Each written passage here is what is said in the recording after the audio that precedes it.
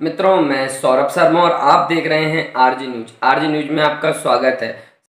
उत्तर प्रदेश जिला बरेली में युवा फाउंडेशन ने लॉकडाउन में वितरित की खास सामग्री। आपको पता चले कि युवा फाउंडेशन के अध्यक्ष पवन मिश्रा के नेतृत्व में ज़रूरतमंदों को खाने के सामान के पैकेट वितरण किए गए हैं।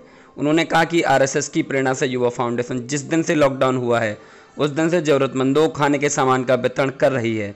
कोरोना वायरस के संक्रमण की समाप्ति तक ये कार्यक्रम जारी रखा जाएगा।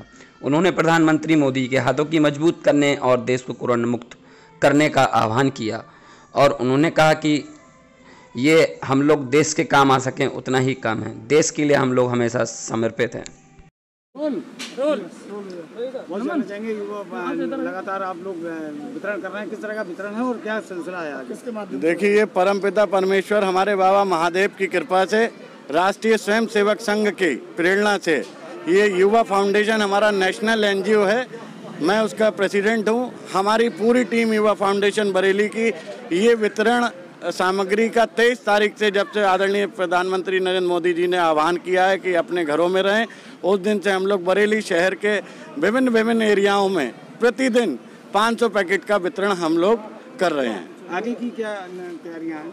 आगे की तैयारी यही है ईश्वर के कृपा से जल्दी से कनोरा कोरोना मुक्त हो मेरा बरेली मेरा भारत और उसी दिन हम लोग शांत होंगे उससे पहले युवा फाउंडेशन शांत होने वाली नहीं।